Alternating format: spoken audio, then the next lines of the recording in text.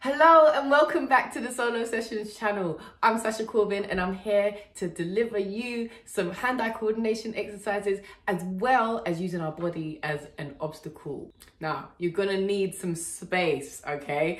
We wanna make sure that you have everything out of the way because we do not want you to break anything because you will need a ball, which means the ball can go flying and we just do not wanna be yeah, we just don't want to mess up the house, do we? so if you can be outside, of course, this is great as well. But if you are doing it indoors, make sure you have some space.